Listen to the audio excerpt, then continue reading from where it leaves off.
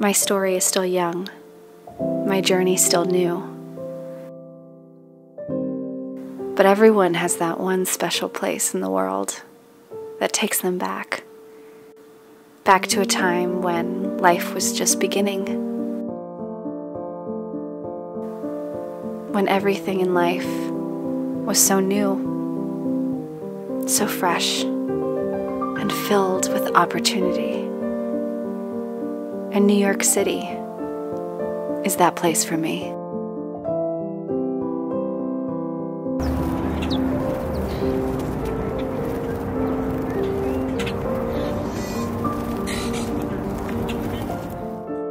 There is magic in the most ordinary of places, the most hectic of cities. There is beauty in chaos, growth in noise. It is in the most chaotic and loudest of places that we are challenged the most.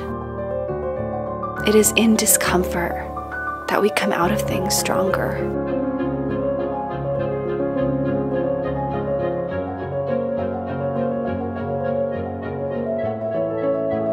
The city can alchemize the most tragic into the most powerful.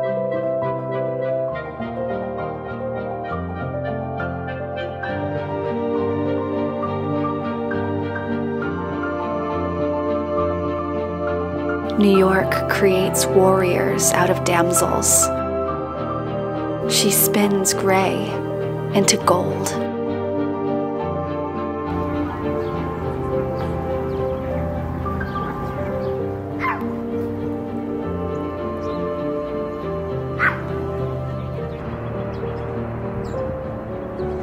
The city may not be home, but it was your becoming.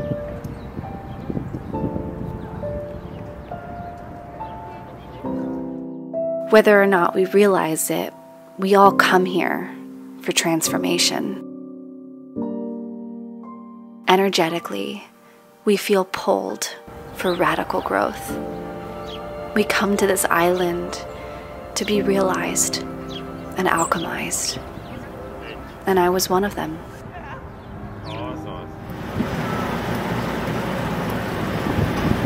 New York City is a place of extremes extreme weather, extreme personalities, and extreme desires. A lot of people who move to New York want fame or recognition or wealth. And at 18, that was me. Living in New York gave me the strength and clarity that I have today. It taught me resilience, fortitude, and resourcefulness. I've been homeless and scammed. I've cried on subways, questioned myself on park benches. I covered up misery with stuff. I bought costumes to make myself feel better, chased accomplishment to make people proud. I covered up insecurity with goals. We do this in many areas of our lives. We spend any leftover money because deep down we don't believe we are worthy of retaining it. We chase the love we think we deserve. I've lost myself time and time again, only to find it through hardship and error, mistakes, and 99 cent pizza slices. We get ourselves into debt and show up to places that we don't want to be for fear of missing out. But isn't this the essence of life? Discovery. It is by making choices that we encounter contrast.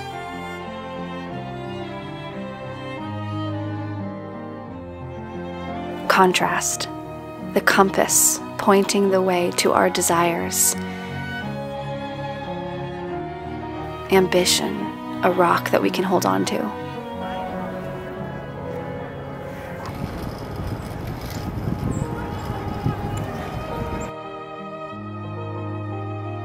Coming back to New York often scares me. Anxiety creeps in before I step on the concrete. But courage, true courage, is feeling fear and pushing through it anyway. It's making a decision and following through. Courage is putting yourself through discomfort to come out of it sparkling. Courage is getting it done and putting it out there instead of demanding it to be perfect. It's shooting for B minus work when you are thirsty for A's.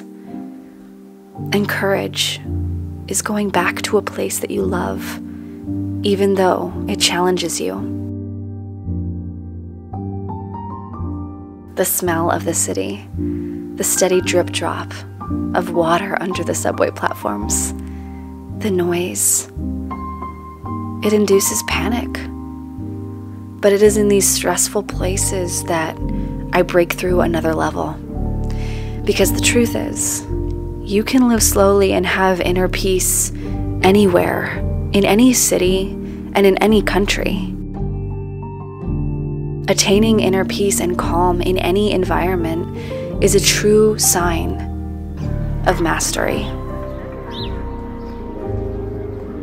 And I am nowhere near there yet. But the least I can do is try.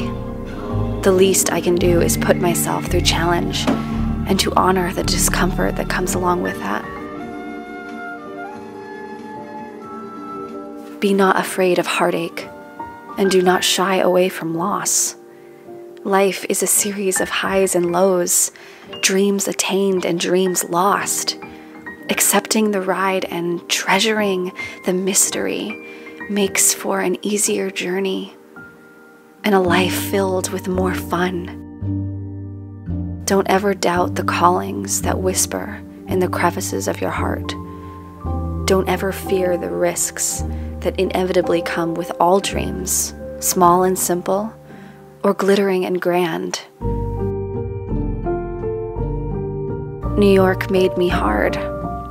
New York made me tough. But it was in leaving New York and coming back that I've realized how much softer I've become. How my heart glows.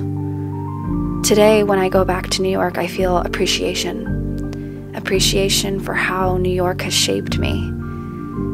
I came here at 18, a naive, fearless, and scared girl, and left at 23, resilient and courageous. I've realized that I don't need to be afraid of places that once caused me pain. Be not afraid of city life, of noise and mayhem, pressure, and obliteration. What I love most about cities is the people. And I love cities that are melting pots, different languages, cultures, belief systems, and approaches to life. It is through listening to other people's stories that we gain the most out of life. It is in listening to others that we gain compassion, humility, and tolerance and for this reason alone. I love traveling, and I love visiting cities. I'm going to be really honest. I think there is a lot of pretentiousness out there around city living versus rural living. A lot of people who love the countryside scoff and roll their eyes at people that love living in the city there's a great divide among us.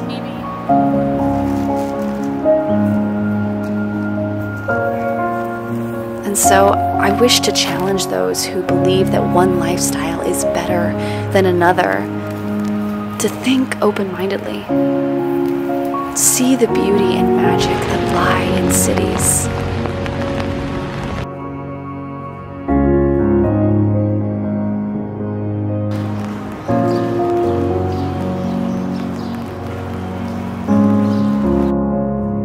Is a magic that permeates the air in urban environments, from art and culture, backgrounds and variety, convenience and the kindness and camaraderie from strangers on the street.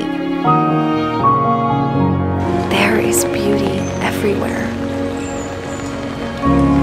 And just as there is an abundance of simple joys around us in the countryside, so are there simple joys in city life. Challenge yourself to notice them. Notice how they are there.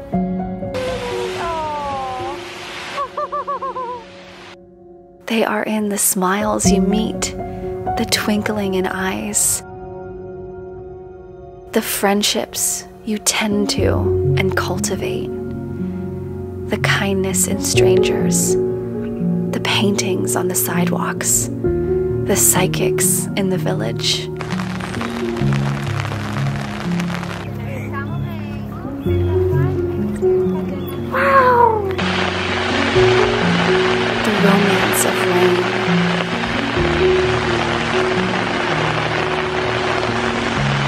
Glittering skyscrapers and Chelsea art galleries on Saturdays.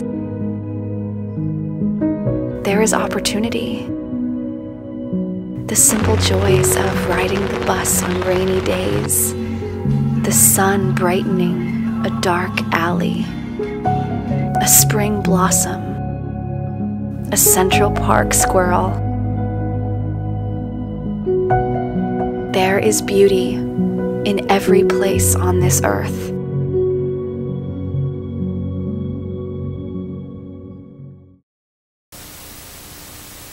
This is the exact spot where we met each other at Pace University. So what did you think when we first met each other? Um, I thought you were really cool. Um, What did we talk about? Do you remember? yeah, we talked about our periods. we were going on a kayaking trip. Oh my god!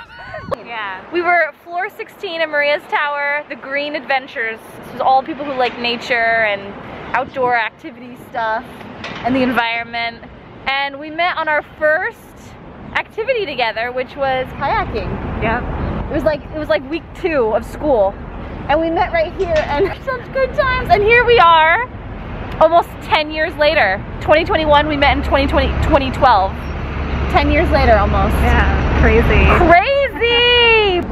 Oh my god, here we are. This was the entrance I always took to go to Maria's I Tower. know. Did you take this entrance? Yeah. This was like the entrance I always took. No, this looks the same. Yeah. Wow. This is exactly the same. Candice and I have returned. Wow. That's the theater. I remember seeing several like people here um, get interviewed. Um, what was that show they used to do? That big show, the Actor Studio or something like that? Oh yeah, inside the Actors Studio. Yeah, I used to go to that all the time when I was here. So it's a little different, isn't it? Wait, yeah, there's the mail. My mailbox used to be right there. So this is the halls we used to roam. Oh, this hasn't changed. And they still have the Bank of America ATM machine. oh my gosh. This is the same. I'm so happy that some of it has stayed the same. It makes me sad when there's too many changes. I was very shocked and embarrassed. Why? I just would never really take out a camera in public and just, you know, lay it on a book and then have other people watch me just walk in front of a camera and then go back just to get a 20 second clip. Yeah. It's, it's, it's the work of an artist. It's the slave. It's just a lot of hard work. It's too hard. it's very interesting seeing the behind the scenes of how you shoot each shot and how you insert the clips and the editing process of I've always been curious how you, you know, edit out the audio. Yeah. And how you, um, like, I've always wondered who's filming those when you're walking by yourself into a store. Who does that? This! This tripod. this tripod. I've got the mini tripod, and then I've got a massive tripod. What's your preferred camera for Oh. um, This, this? definitely. Well, I like that for like in my pocket. It's Yeah, easy to grab. quick. This is better quality. Okay. All right, are you ready, Dean? Are you ready to get in the shot? So as you can see, we're filming while we're filming. Stuff we do for YouTube. this is for you, AdSense. My debut on the Simple Joys channel. Thanks guys, welcome back to my channel. Appreciate it. Please make sure to like, subscribe, and hit that notification if you want to see more content. I love it.